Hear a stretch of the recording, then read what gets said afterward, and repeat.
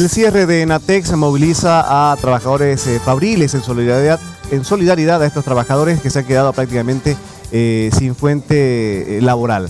Nos acompañan los fabriles de Santa Cruz, don Sosimo Paniagua, que es secretario general de la Federación de Fabriles, y don Jaime Ávila, ejecutivo de la Federación de Fabriles. Buenos días. Buen día.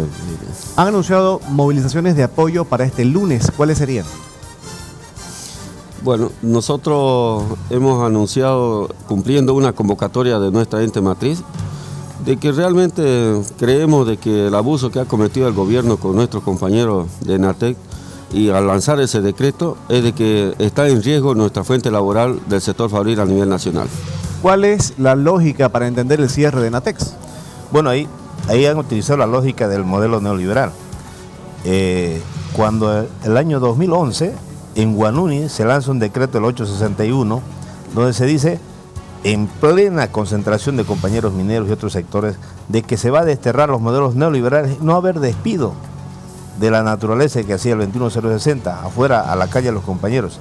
Los mismos han reeditado con el decreto 2765 votar realmente a más de mil trabajadores a la calle con el pretexto de que van a fumigar la empresa, lo saca a todos y el lunes cuando vuelven está lleno de realmente de policía le da 60 días, el gobierno en el decreto da 60 días para que realmente vuelvan a abrir, a aperturar esa empresa, pero una empresa pública bajo la 2027, que es el modelo de, del neoliberal, y entran a trabajar sin ningún derecho a beneficios sociales, a organizar el sindicato, o sea, y las, lo, dice, lo que dice la 1178, los controles realmente cada seis meses, si usted tiene tres malos controles, revisión va afuera, a la calle, sin nada, sin derecho a nada. Si no surte efecto eh, eh, estas medidas, ¿qué harían? Nosotros este, hemos iniciado las medidas, ¿no? Nosotros vamos a continuar. El día lunes ya hay una convocatoria para, vamos a bloquear una carretera y de ahí nuevamente pues vamos a seguir bloqueando ya las demás carreteras porque esto tiene que ser revisable. Y el gobierno eh, simplemente lo que hace es arremeter con los trabajadores y la verdad que está dando como se haya hecho un pacto con los empresarios, ¿no? Porque los empresarios ya están también queriendo aplicar ese decreto, ¿no? Algunas normas para votar a los trabajadores a las calles. Entonces, con una política que está haciendo en, esto, este, en estos momentos el gobierno, está haciendo de que haya una política de más desempleo aquí en Bolivia. Pero eh, ayer se anunciaba desde La Paz que se revisaría el pacto de unidad entre la central obrera y el, eh, gobierno. Eh, ya no serían los trabajadores asalariados los que estarían eh, en unidad con el eh, gobierno, sino los empresarios?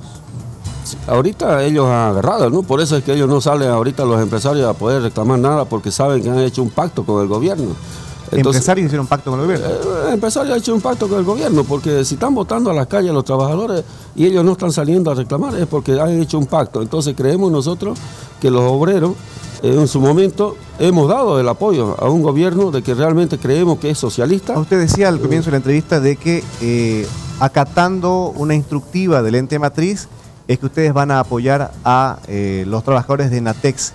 ¿Qué pasa con los maestros que están lucen solo en, en sus demandas? ¿No los apoya también el ente matriz?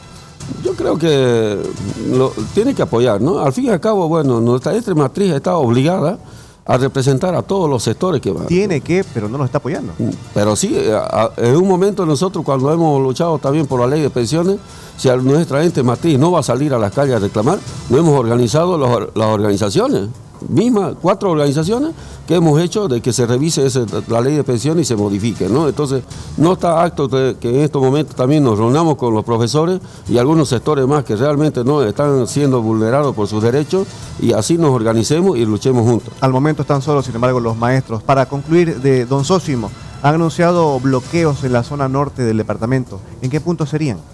Bueno, eh, si le digo el punto exacto, realmente eh, antes que lleguemos van a estar los policías.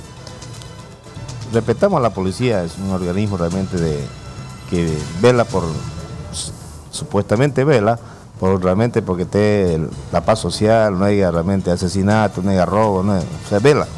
Pero realmente más vela cuando realmente están los obreros reclamando un derecho y van lo gasifican, sin realmente sin razón. Nosotros cuando hacemos una medida de presión como esta, defender el derecho al trabajo, a la salud, a la educación, a que realmente se destierre de, la población, tantos vagos que hay y vayan a trabajar, pues estamos pidiendo trabajo a esos compañeros. La policía viene realmente de manera eh, sin ningún miramiento, niños, jóvenes, mujeres, que sea, igual les basifica lo que ellos quieren tener las, las carreteras expeditas, pero no saben detrás de cada compañero cuánto esfuerzo se hace para hacer que el gobierno nos escuche. No estamos contra las autoridades realmente de la policía, estamos contra las políticas del gobierno que cada día se van realmente aumentando. ¿Por qué? Porque supuestamente el, el, acuerdo que se tiene entre trabajadores y el gobierno piensa que no vamos a salir. Nosotros no. Nuestros estatutos, ¿qué nos dicen? Los trabajadores y las organizaciones sindicales son contestatarias a cualquier gobierno. Entonces, ese principio de ser contestatario nos lleva de que no podemos realmente, están votando a trabajadores, no, no podemos decir nada. Eso no es justo. Por lo tanto, los trabajadores de Santa Cruz, le decimos realmente a los compañeros de NATEC, vamos a estar con ellos, acatando las decisiones de nuestra máxima institución, que es la Central Obrera Boliviana, y aquí todas las organizaciones, como dice la convocatoria, Centrales Obreras Bolivianas, departamentales, regionales, federaciones, confederaciones, tienen que salir a la medida es una orden, no es realmente una invitación. Por lo tanto, todos los compañeros obreros tenemos que hacernos sentir ahora. Ahora no lo hacemos, olvídense compañeros, mañana pasado va a pasar lo mismo que en ATED. Mil, dos mil trabajadores a la calle, ¿qué va a pasar? Va a haber una convulsión social y alguien tiene que organizar lo que tienen que ser realmente los propios Por lo visto depende del de, eh, problema de Enatex, si es que continúa o no el pacto de unidad entre Central Obrera y el gobierno. Señores, gracias por su tiempo, son muy amables. Gracias a ustedes. Que les vaya muy